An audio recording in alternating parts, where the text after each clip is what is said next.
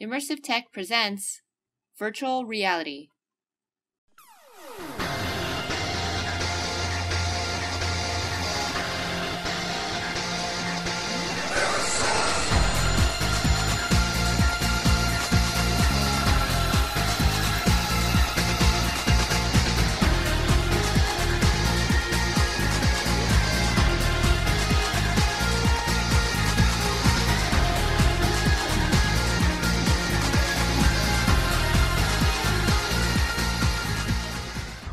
Have you ever wanted to fly through the air but just didn't have any superpowers? Or walk around Mars but your spaceship happens to be in the shop? Or even walking among dinosaurs but prefer not to be the next main course? Well, one day with virtual reality, you'll be able to do all this and more from the comfort and safety of your computer. What is virtual reality? Virtual reality, or VR, is a term that applies to computer simulated environments that simulate places in the real world as well as imaginary ones. It takes your current reality and replaces it with a virtual one. The first widely accepted digital virtual reality was created by the US Air Force in 1966 as part of their flight simulation training.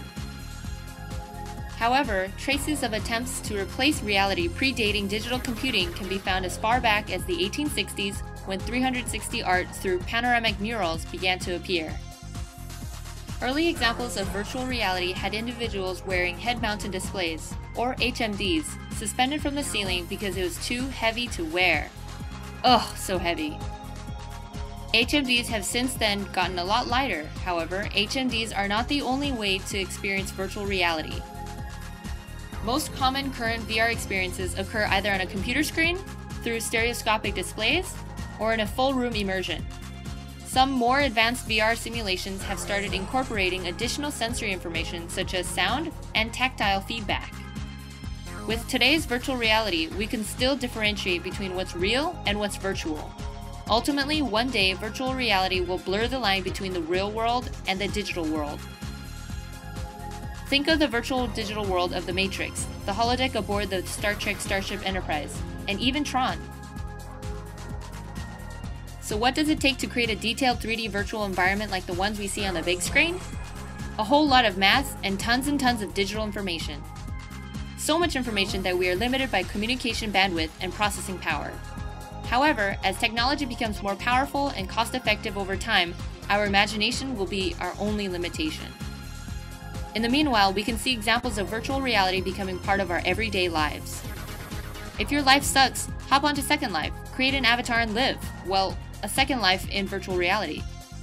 If you're bored of browsing the web in 2D, set your sights on the virtual world web then. Have a particular phobia you've always wanted to face? Head on over to USC's Institute for Creative Technologies where they perform exposure therapy for an array of phobias and PTSD treatments.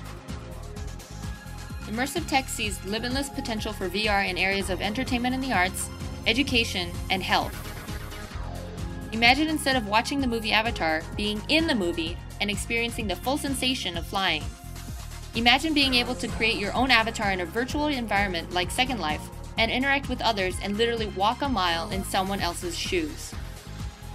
Virtual reality is finding its way into the training of healthcare professionals from anatomy instructions to surgery simulations. Imagine being able to walk into a museum and being able to ignore the do not touch sign and touch what you're seeing. If a loved one was about to have major surgery, wouldn't you want your surgeon to have a chance to practice first in virtual reality? Wouldn't you want a doctor to have as much and accurate information as possible? These are all examples of future applications of VR. Before you know it, the physical and digital world will become one. There is still a lot of growth for virtual reality, and with future development of VR, it will open new doors to new experiences and new ways of existing in this reality and the next. This has been a presentation of virtual reality by Immersive Tech.